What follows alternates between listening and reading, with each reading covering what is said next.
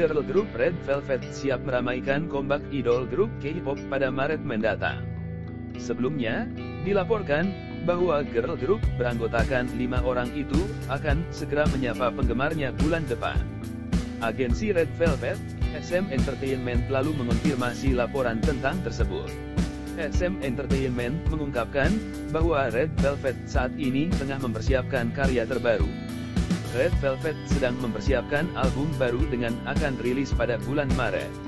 Kami meminta kalian untuk menunjukkan dukungan, kata agensi SM Entertainment namun, SM Entertainment belum menjelaskan mengenai kepastian tanggal ataupun konsep yang akan diusung dalam album terbaru Red Velvet.